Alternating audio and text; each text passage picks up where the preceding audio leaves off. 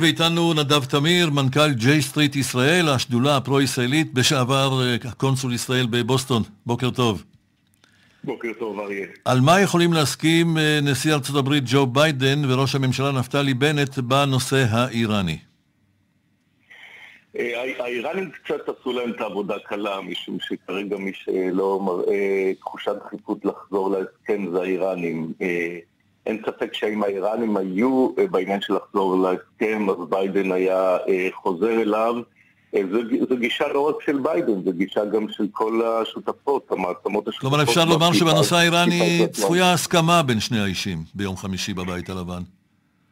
תהיה הסכמה, אני חושב, על זה שצריך לעשות כל מיני פעולות שבולמות את איראן, שמייצרות חזית אזורית נגד איראן, שמחזקות את השותפות הפרו-מערביות האחרות באזור, המדינות הסוניות.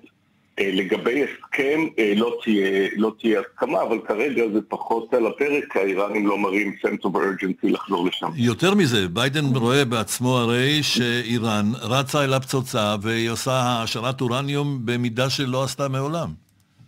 זה נכון, אבל צריך לזכור שזה קרה אה, בדיוק בגלל שארצות הברית פרשה מההסכם. זה כל הניסיון של טראמפ להטיל את הסנקציות הכי קשות אי פעם, לא עצרו בכלל את האיראנים. ביידן מבין את זה, שעוד סנקציות לא יגרמו לאיראן לשנות כיוון, מה שיגרום לאיזשהו מסלול שאפשר לעשות בו איזשהו give and take עם האיראנים.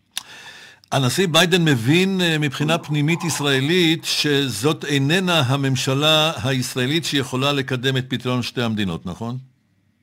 הוא לגמרי מבין את זה, והוא מבין שמבחינת החזון לא תהיה לו הסכמה עם בנט. מצד שני, בהחלט יכול להיות הסכמה על שני אלמנטים משמעותיים, שאחד מהם זה איך משפרים בצורה משמעותית את תנאי החיים של הפלסטינים ומחזקים את הגורמים המתונים, את הרשות הפלסטינית, שמאוד מאוד נחלשה בגלל הניצחון התודעתי שבמידה רבה אנחנו עזרנו לחמאס וטורקיה לקבל במאי.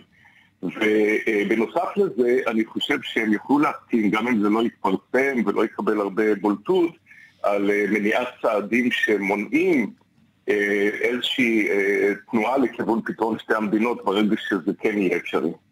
עכשיו, הזכרת את עזה, כמובן ההסלמה מול עזה בימים האחרונים תעלה על השולחן, לא רק בשיחה עם אנטוני בלינקן, שצפויה גם כן עם שר החוץ האמריקני, אלא גם עם הנשיא ביידן.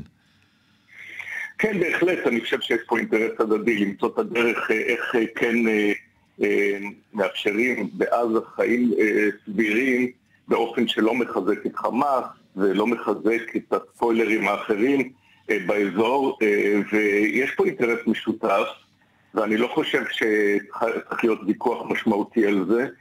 משום שזה גם אינטרס ישראלי, גם אינטרס אמריקאי וגם אינטרס של כל השותפות הסוניות הפרו-מערביות באזור. אני רוצה להודות לך, נדב תמיר, מנכ"ל ג'יי סטריט ישראל, השדולה הפרו-ישראלית, בעבר קונסול ישראל בעיר בוסטון בארצות הברית. בוקר טוב. בוקר טוב, יום טוב. יום טוב.